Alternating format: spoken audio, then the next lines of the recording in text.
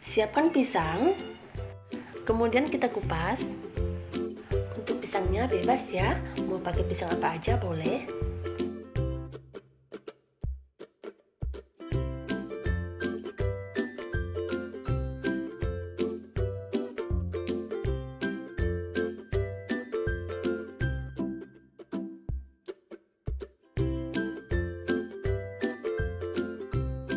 Setelah kita kupas, selanjutnya kita potong-potong seperti ini.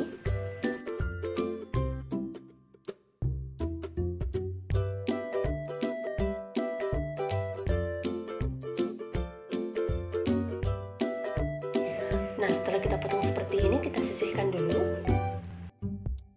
Kemudian kita siapkan teflon. Lalu kita masukkan margarin sekitar 1 sendok makan.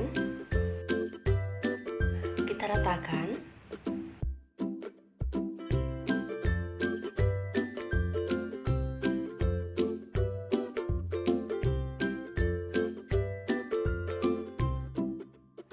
Selanjutnya kita beri taburan gula pasir di atasnya seperti ini sebanyak 2 sendok makan.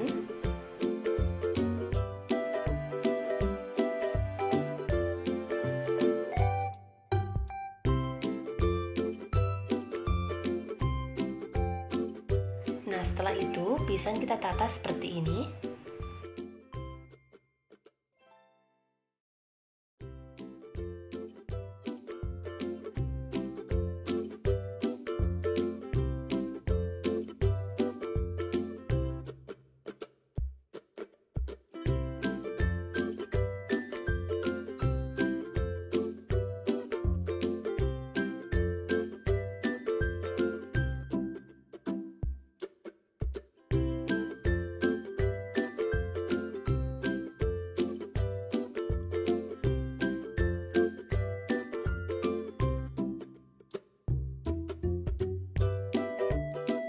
Kemudian ini kita sisihkan dulu. Selanjutnya kita siapkan wadah, kemudian kita masukkan satu butir telur, 5 sendok makan gula pasir,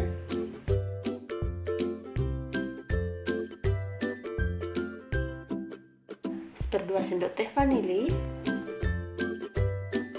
lalu kita kocok hingga gulanya larut.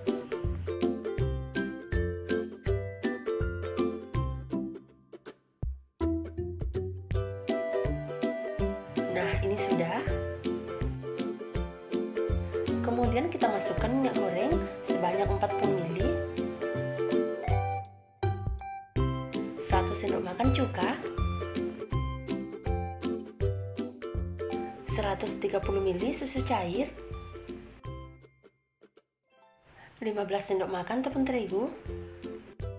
Kita ayak ya, agar tidak ada tepung yang bergerindil.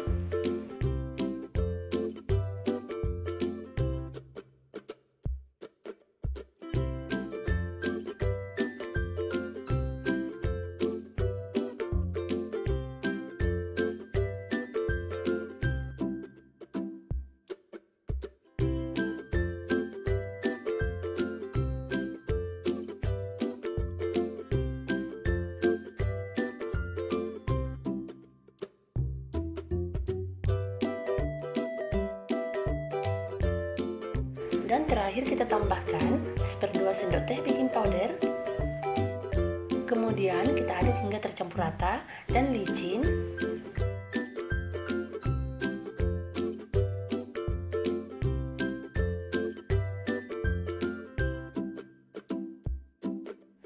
Nah, ini sudah. Lalu kita masukkan adonan ke dalam pisang.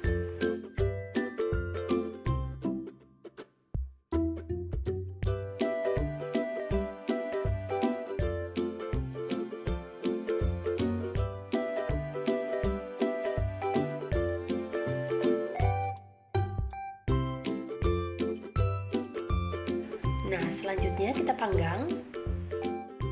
Ini kita panggang selama 25 menit menggunakan api yang paling kecil. Kita tutup. Nah, ini sudah 25 menit. Kita buka. Bagian pinggiran yang atasnya sudah mengering. Kita angkat. Lalu ini kita balik.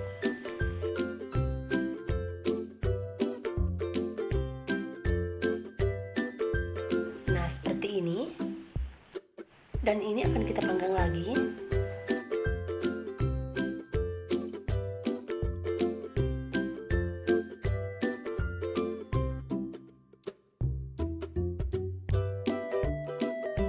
Kita panggang kembali.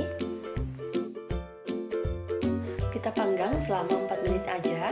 Menggunakan api kecil ya. Nah ini sudah kita angkat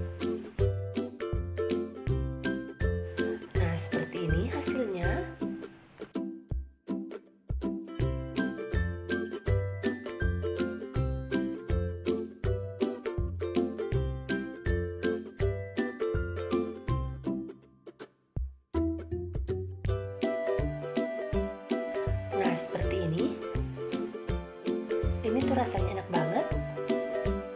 Semoga bermanfaat ya. Terima kasih.